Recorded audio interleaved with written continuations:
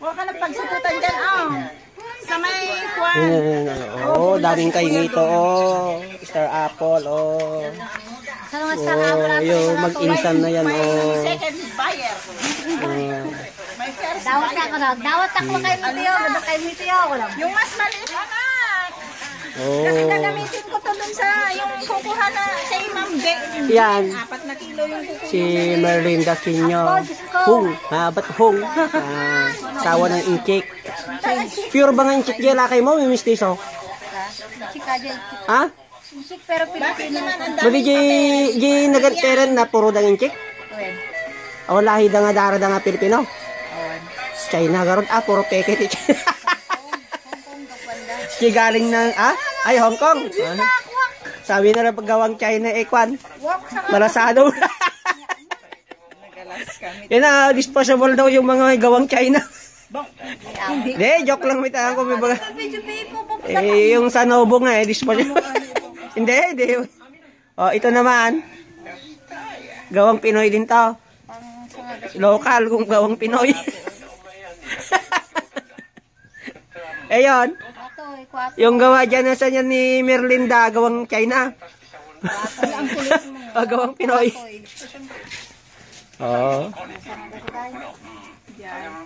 Ano, two and a half atan. Na, batan. Two and a half atan. Umpat may sa kilo, oh. Nagdadakin ka ng talo, di may sa kilo na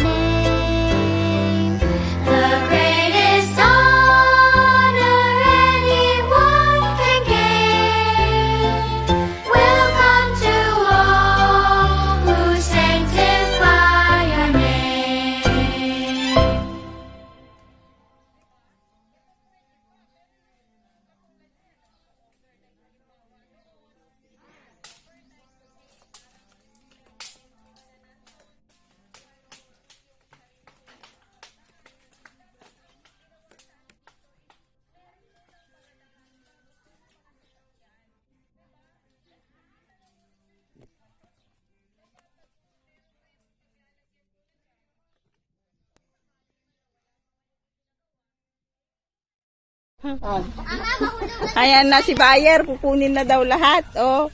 Oh. Agad-agad. Agad-agad. Ay nako.